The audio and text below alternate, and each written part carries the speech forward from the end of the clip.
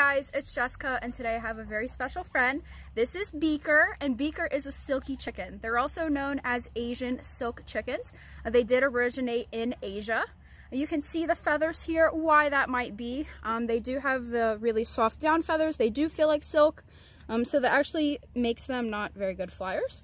Um, but under all of these feathers, we can see that Silkie chickens actually have black skin and that's actually a mutation called melanism. It's the opposite of albinism. It's an excessive amount of pigment. And in Silkie chicken specifically, it not only causes black skin, but also black meat and bone. So pretty cool.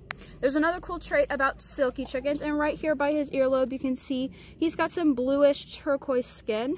Um, and in addition, five toes on each foot, whereas most chickens have four. So all of these traits put together make Silkie chickens very cool, ornamental, and show birds. Um, when they were brought to the United States, they were actually a huge part of traveling roadside shows. So they've been very popular with backyard breeders um, and anyone that wants to have chickens as pets. Uh, they do live seven to nine years, so a fairly good um, amount of time for a backyard bird. If you're looking to have a Silkie chicken as a pet, they are very good egg layers. They can lay up to 100 eggs in a good year. They also make very good parents. They do eat regular feed you can get at um, any livestock store. They also eat fruits, veggies, and bugs like crickets and mealworms. And they're known for their docile temperament.